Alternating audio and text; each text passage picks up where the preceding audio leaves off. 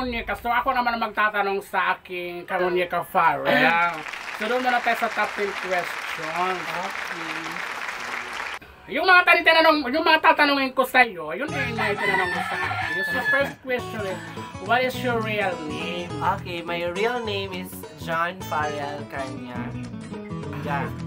Hindi pa natutong pangalan. Akala ko, John Farrell Woki. Ah, hindi.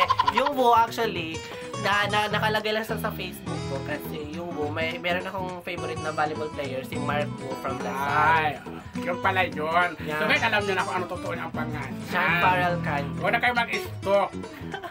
So, second question is, ilang taon ka na? Okay.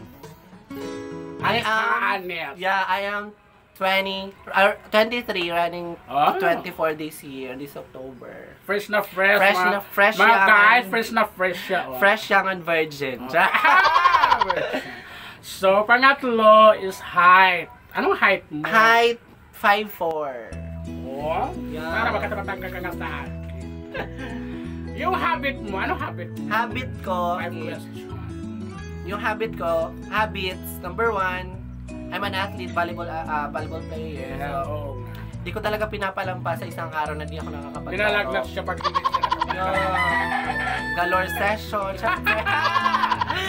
di may iwasan yan. Tapos, three, I like answering questions. Like, pag may, ano, pag pag may nag-chat sa akin na gustong magpatulong about sa school nila, Yeah, gustong so gusto ko naman pala siya. Matulungin. Thank you. So matulungin siya. Kapag Idol, I. I, idol na kita siguro ngayon. Thank you.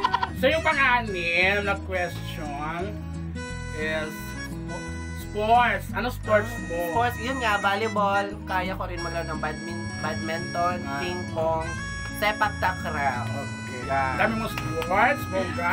Idol talaga kita. Sure. So, seventh question is, work as of now, anong trabaho mo sa ngayon? As of now, actually, ka-resign ko lang sa trabaho ko dun sa call center. Yes, oo. Kasi nga, nung pumasa ako ng board exam, Uwi po siya dito. umuwi ako ng Leyte kasi gusto ko i-push talaga yung teaching profession ko. Check. Eh kaso, may COVID, wala, pornada lahat. Okay. Nandito lang Ay, ako ano? sa amin. Kasi matapos din naman ang importante, board passer ka na. Hi! Yeah, so number 8, ang mga favorite foods mo. Favorite food? Ah, fried chicken, salad, yung mga usual yung nakikita sa mga fiesta, humba, and dinuguan. Yes, masarap talaga. Yung po, yung, yung, yung po yung dinuguan masarap pag may puto. Pag may puto. So, next question, yung mga favorite place mo na gustong puntahan? Favorite Place place to to go? Ako talaga ang hilig ko sa resort. I don't. Bakit? Mahilig ako sa resort. Kasi di ba doon, aside from marami kang makikitang boys, char. Okay. Siyempre, ano, vitamina sa mata, hindi. Ano, parang gusto ko, ewan ko, parang nakakalimutan ko lahat ng problems ko pag nasa, na, Yes, sa, mag-relax, Ah, ano ba yung sa pagka? resorts. Kasi sa beach, ayoko nang nakatuto talaga sa aking hangin. Correct. Nakakaitim pa. Lalo na pag, oo, lalo na pag may galore session, ang dali-dali kong Malasing. Lang kung mga lalaki ang malas. Hot! Last question do sa top 10 is yung motto in life mo.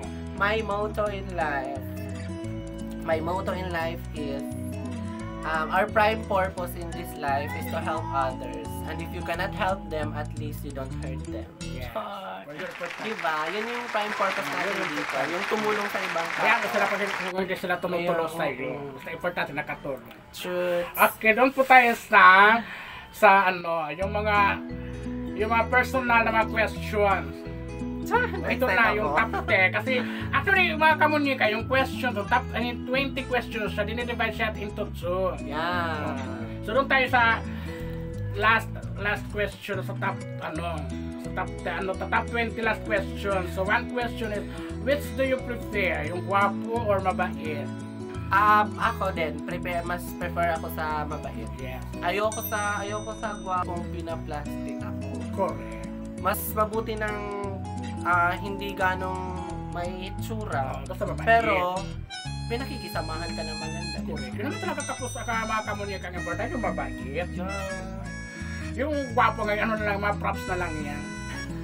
Second question is, matangkad o sakto lang?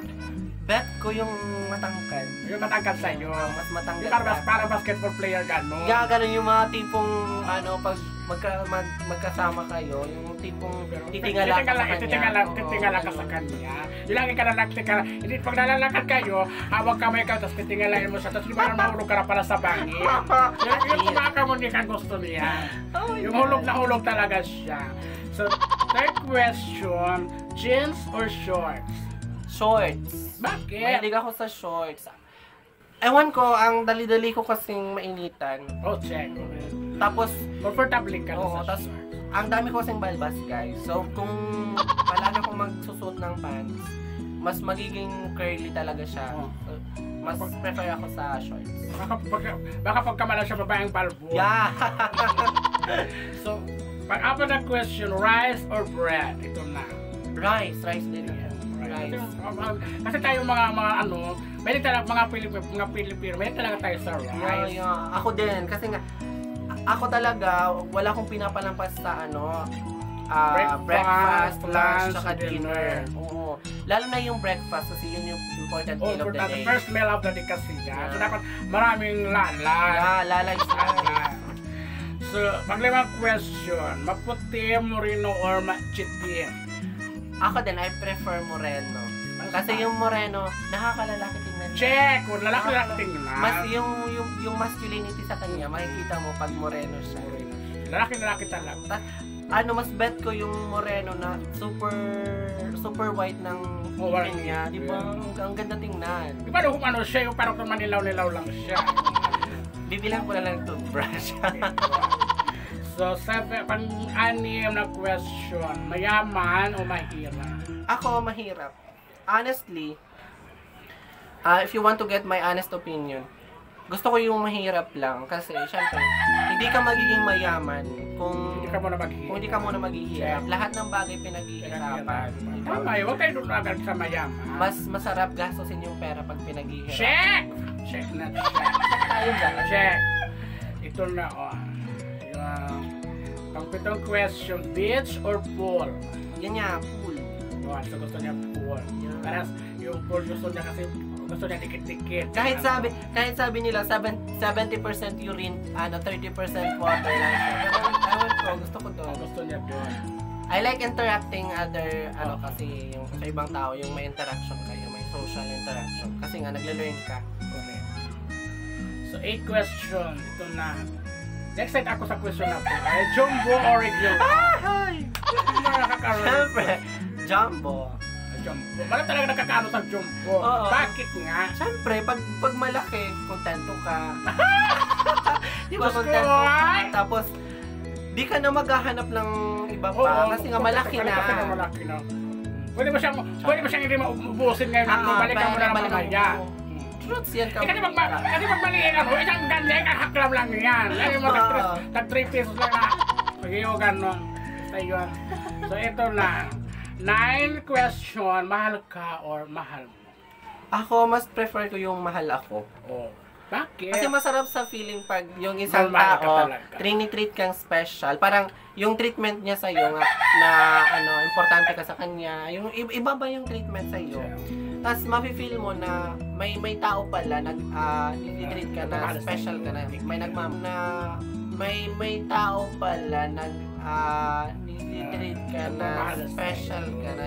May nagmamahal. Kasi kung mahal mo pero di ka naman mahal, Wala rin. wala rin eh, di ba? Pero, syempre, it is my opinion, my honest opinion. Nagkakaiba-iba naman talaga tayo. Pero Tama yun, so mas gusto ko yung mahal ako. Tama yung mga kamunyik. Kaya iba kasi tayo ng, ng nararamdaman. Nang, nang, nang, Meron kasi yung meron kasi yung mga gano'n, mas pinipili nila mahal sila, kaya di na mahal, mahal nila, kaya di naman sila mahal, kaya pinupupok na nga sila, may mga mahal pa rin nila. So yun, nagtutulong lang. na, Last question. Sino ba ito puro mga ino ko? Kakipag kinakabahan ako dito. Pang last question, 10 question is ducks or chutes? Hmm. Huwag ka na mag-isip. ang hirap. Sir. Ko, why? Siyempre, prefer ako talaga pag, ayoko kasi Yung totoo, honest lang ha. Oh, Jutes. Bakit? ay- Ayoko sa dog. O, hindi ko na natin kira? Bakit? So, ay, ang hirap. Char, ang hirap. ang hirap mabuti. Ay, Ah, at least yung, yung ano, yung yung Dax, may muscle control ka. Ewan ko, pero syempre, oh, okay, iba-iba tayo ng opinion, mga kamunik. ah, ah, ako kasi, virgin pa kasi. Saan pa? Kamunik ka? na direct matigdaan.